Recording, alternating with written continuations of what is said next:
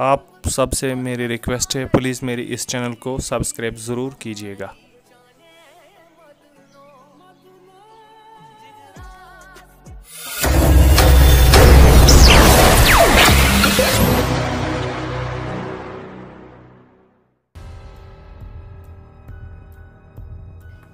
ये बड़गांव का एक गाँव है, जो बड़गांव के करीब ही है। ओमपुरा। यहाँ एक नया नया घर बन रहा था, उसमें लेपर्ड छुपा बैठा था। तो उस घर की तरफ़ कोई गया तो उसने उधर लेपर्ड देखा तो उसने फिर पुलिस को इन्फॉर्मेशन दी, पुलिस ने हमको इन्फॉर्मेशन दी। और हम यहाँ पर पहुँचे। तो हमने घर को घेर लिया, लेकिन घर अभी नया ही बन रहा था, उसमें कोई खिड़की ना कोई दरवाज़ा लगा था तो जैसे हमने लेपर्ड को निशाने पे लिया ट्रैंकुलाइज करने के लिए। वो खिड़की से छलांग मारकर भाग गया और दीवारों के ऊपर कूद के यहाँ इस शड के करीब आ गया, जो गिरा है बर्फ़ से। इसके नीचे छुपा है वो। हमने इसको चारों तरफ़ नट से बंद किया है, ताकि ये लेपर्ड बाहर ना जा सके और किसी को इंजर्ड ना कर सके। शर्ट नीचे गिरा है तो लेपर्ड किसी अंधेरी जगह में छुपा है। अभी यहाँ पर टार्च की रोशनी भी नहीं जाती। तो हम अब लेपर्ड को ढूंढते हैं। तो जैसे लेपर्ड नज़र आएगा तो हम उसको डांट देंगे।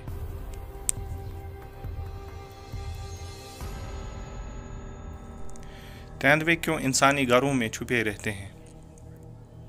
इसके पीछे एक बड़ी वजह होती है।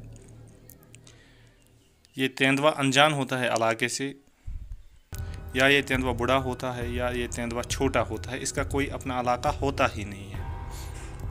तो ये भटक कर आता है किसी इलाके में, फिर ये छुपने के लिए इंसानी घर तलाशता है, या कोई जाड़ी।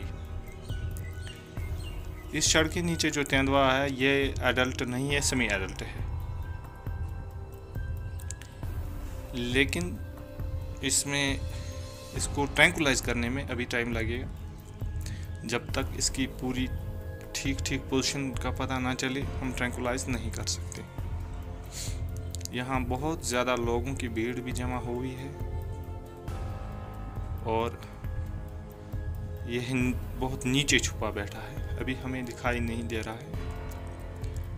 जैसे हमको ये दिखेगा तो फिर हम इसको अंदाज़ा लगाएँगे, इसका कितना वेट है, उसी हिसाब से इसको हम दवा देंगे। क्योंकि अगर वेट से ज़्यादा, इसके वेट से ज़्यादा दवा दिया तो ये मर जाएगा, अगर कम दिया तो बेहोश ही नहीं हो जाएगा।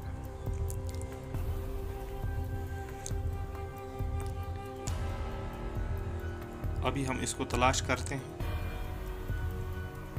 नज़र ही आ गया है। ये कहाँ पर छुपा है? लेकिन इसका मुँह हमारी तरफ़ है। जबकि इसका पिछला साइड हमारी तरफ़ होना चाहिए ताकि हम डांट दे सकें। इसके सिर को हम डांट नहीं दे सकते। तेंदुआ भी देख रहा है हमारी तरफ़। बहुत ज़्यादा घबराया हुआ है। अभी हम दवा देने के बाद छः मिनट हमको वेट करना पड़ेगा। छः से पंद्रह मिनट का वेट करना पड़ेगा।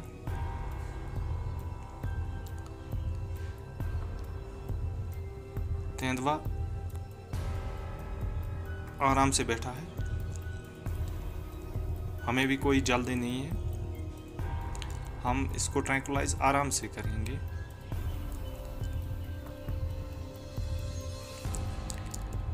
लोगों की भीड़ यहाँ बहुत ज़्यादा है, जिससे हमें डिस्टर्ब होता है।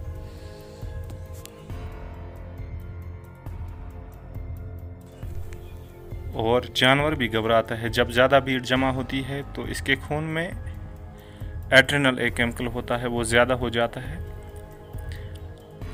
जानवर घबराता है, इसको लगता है कि शायद ये लोग मुझे मारने के लिए आए और जो बिल्ली होती है, तेंदुआ भी एक बिल्ली होती है, लेकिन ये बड़ी बिल्ली होती है। इसको चारों तरफ़ नहीं घेरना चाहिए। अगर इसको चारों तरफ़ से घेरेंगे तो ये फिर हमला कर देता है, क्योंकि इसको भागने का कोई रास्ता नहीं रहता। तेंदुए को सिर्फ़ तीन साइड से घेर सकते हैं, ताकि ये शांत बना रहे। अगर इसको चारों तरफ़ से घेर लिया तो तेंदुआ हमला कर देता है।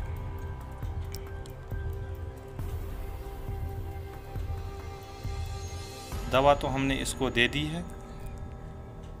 असर होने में अभी टाइम लगेगा। ये आप देख सकते हैं कितने लोग यहाँ पर जमा हैं, कितनी भीड़ यहाँ पर जमा है। और हमने इसको बाहर निकाला। नेट में लपेट कर हमारे साथ पुलिस फोर्स भी है। ये हमारी अच्छी तरह से मदद करते हैं।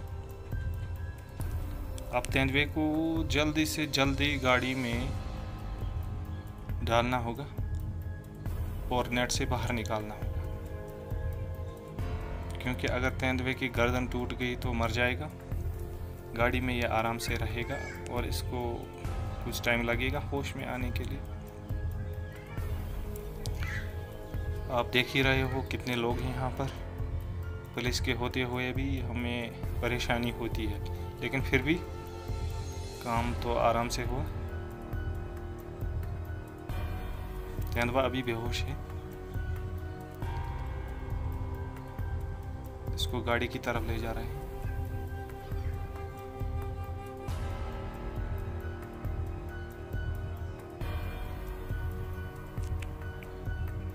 ये तेंदुआ, कई दिनों से शायद यहाँ पर रह रहा होगा। या आज ही आया होगा रात में, वो हमें पता नहीं है।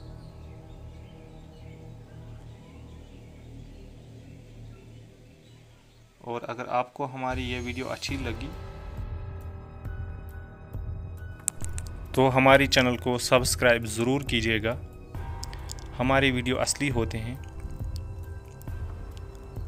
इसमें कोई कैमरा इफ़ेक्ट नहीं होता है।